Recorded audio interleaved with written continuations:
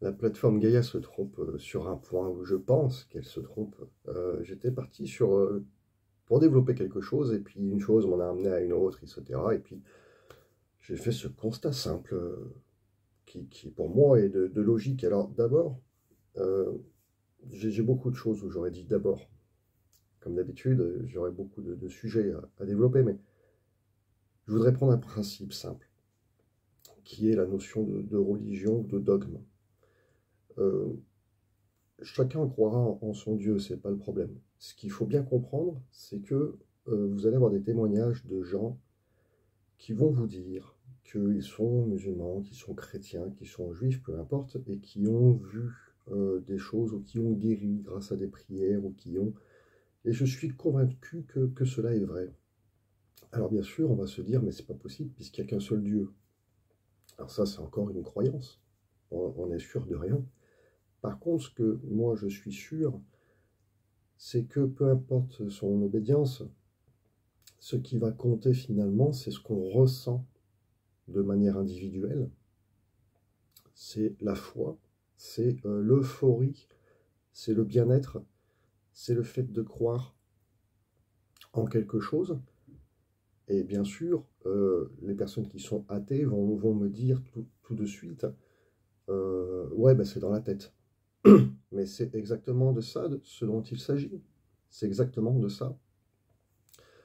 Vous allez dire, euh, par exemple, là je travaille sur, euh, sur mes chakras depuis un bout de temps, et j'en arrive à seulement en visualisant, euh, bon c'est pas vraiment un rouge, mais à sentir mon chakra racine qui se met en route. Encore une fois, on va me dire c'est dans la tête. Exactement. De la même façon que on avait déjà vu ça ensemble, la maladie, le mal a dit, c'est-à-dire qu'il y a quelque chose qui ne va pas dans la tête, le corps finit par l'évacuer physiquement. C'est comme ça qu'on développe des cancers, c'est comme ça qu'on développe des tumeurs, c'est comme ça qu'on arrive à se coincer un nerf, à avoir voilà, des torticolis, à avoir tout un tas de choses, c'est dans la tête. Et souvent, la dépression, enfin, les maladies qui sont liées à la dépression, qui d'abord était une dépression, ensuite on développe qu'on appelle des symptômes, et par la suite, si ce n'est pas pris en charge, si on s'intéresse pas euh, à ce symptôme, qu'on ne corrige pas, ça devient sur du long terme une maladie. J'aime pas ce mot, mais voilà. Donc tout ça pour dire que c'est dans la tête. Euh, vous pourrez, pour ceux qui l'ignorent, aller voir sur Internet, elle doit y être, hein, euh, l'expérience des, conserves de riz. Donc l'expérience c'est simple, hein, c'est des scientifiques qui ont mis ça, des japonais je crois, qui ont pris euh, ce principe, ils ont utilisé le même riz dans trois bocaux différents, et il y en a un où ils ont marqué euh, haine, un autre amour, et un autre, il me semble, neutre, où ils n'ont rien mis dessus, je ne sais plus exactement. Ils les ont mis à des endroits euh, plus ou moins séparés, et ils ont appliqué avec le pouvoir de l'intention, soit de l'amour, soit de la haine, soit de l'ignorance. Et bien entendu, comme on pouvait s'y attendre, celui qui était insulté, euh, c'était une expérience hein, scientifique, vous savez, ils font des choses étranges, les scientifiques. Ceux qui ont insulté le riz durant euh, des mois, des semaines, euh, je ne sais plus exactement, le riz a moisi très vite, il a pourri très vite, et celui de l'amour est resté bon le plus longtemps possible, et le neutre a pourri de manière neutre, en fait. Ok? Donc j'en reviens à mon histoire de religion vaguement. Oui, c'est dans la tête, quand on est, euh, il suffit de prendre des choses basiques. Euh, c'est ce que j'explique en ce moment à mes enfants. J'explique le pouvoir du cerveau. Et encore, du peu que nous, au XXIe siècle, on le comprend.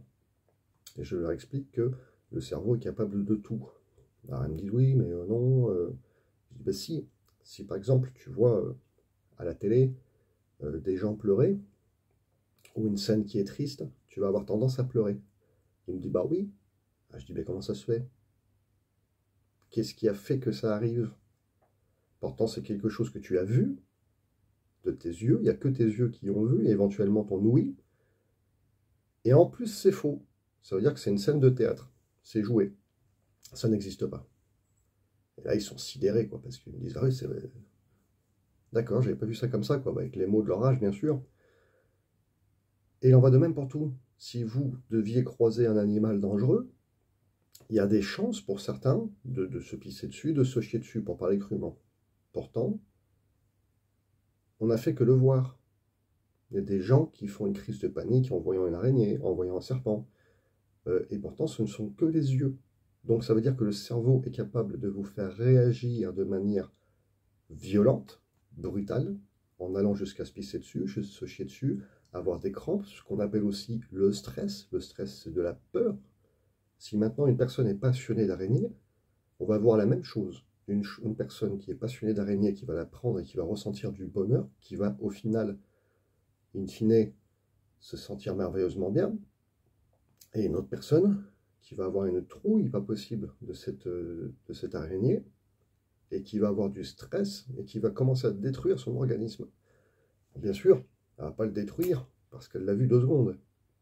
Elle va enclencher un stress qui va être néfaste, et qui peut, sur le long terme, comme euh, être en prison, comme euh, vivre dans une, famille ou des amis ou au travail, qui, chaque jour il y a du stress, chaque jour il y a des mauvais regards, il y a des choses qui font que la personne soit stressée, soit mal dans sa peau, se sente malade littéralement, va petit à petit, au fil des jours, développer ce qui va se, devenir une maladie. Voilà.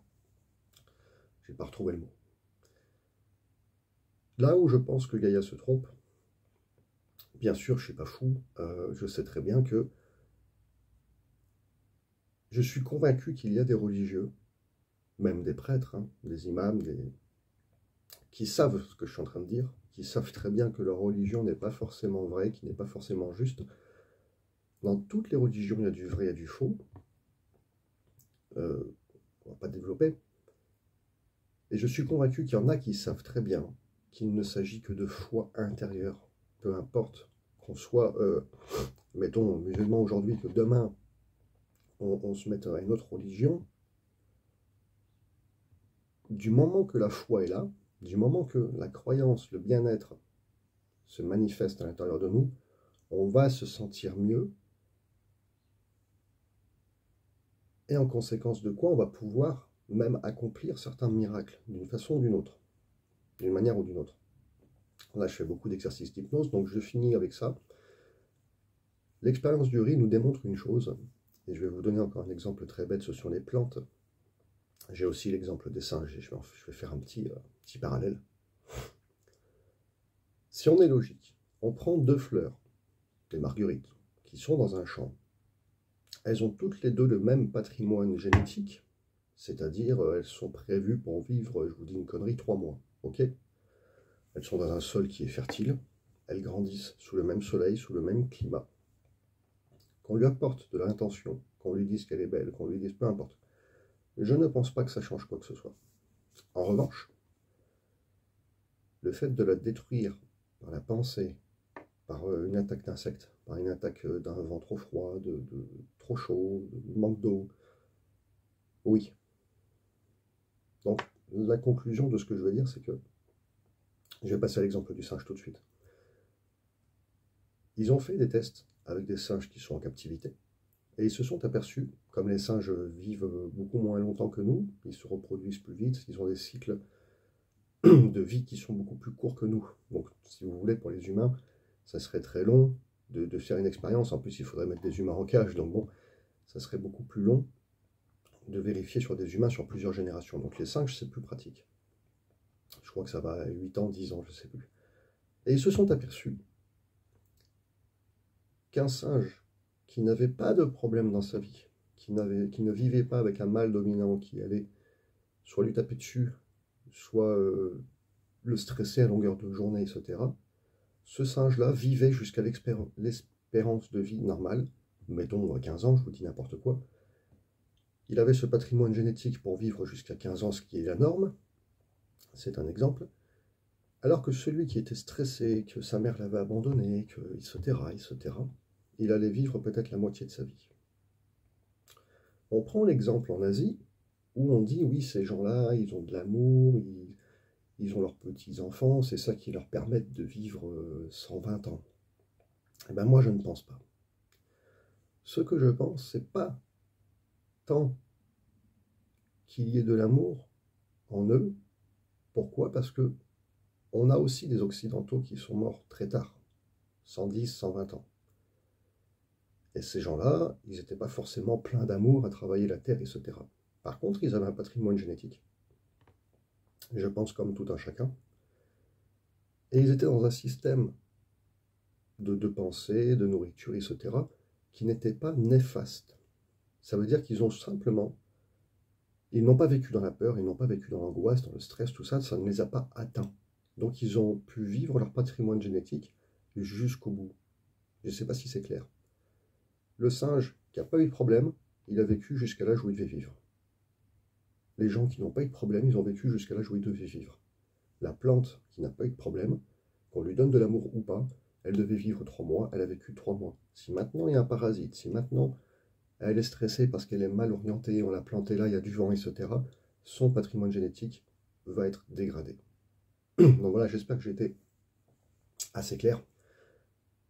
Et je pense, euh, que la plateforme Gaïa, les gens qui ont fait en tout cas cette émission, euh, savent ce que je suis en train de dire, mais ils ont simplifié euh, pour que les gens puissent comprendre de la même manière qu'on simplifie des textes ou qu'on simplifie une religion pour que les gens puissent comprendre sans trop se casser la tête. Voilà, c'est mon point de vue, je peux me tromper, mais là ce que je suis en train de dire c'est parfaitement logique.